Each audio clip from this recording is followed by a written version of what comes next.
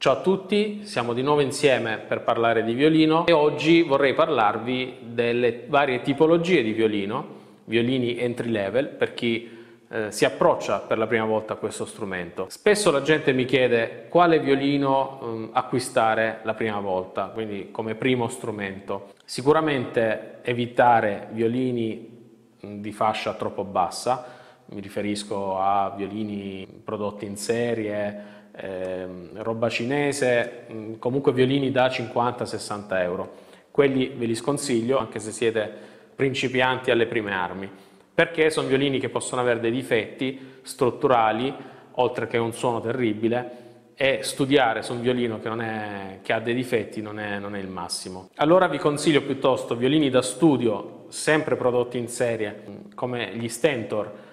ci sono diverse serie e diversi costi, eh, ma mh, pur essendo prodotti in serie sono violini che hanno un setup manuale e una revisione manuale prima di essere messi in commercio.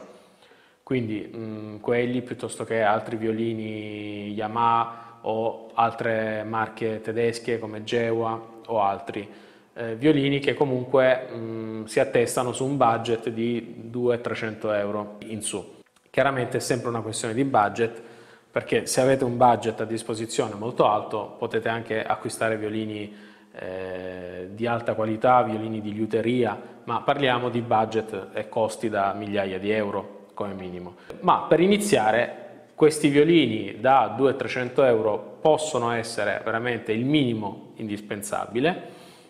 purché, eh, e questo è l'altro consiglio che vi do, mh, vi rivolgiate a un liutaio, cercate un liutaio nella vostra zona, e eh, fate revisionare il vostro violino da studio eh, perché probabilmente è un violino che avrà bisogno di un piccolo aggiustamento sul setup e quindi eh, una revisione del ponticello perché magari non ha la giusta inclinazione, se non addirittura una sostituzione perché potreste avere un violino eh, diciamo da studio che però con un ponticello nuovo mh, mm, del giusto legno e con la giusta inclinazione sicuramente potreste guadagnare tantissimo nel sound generale. Eh, piuttosto che le corde, anche le corde eh, sono un fattore di qualità del violino.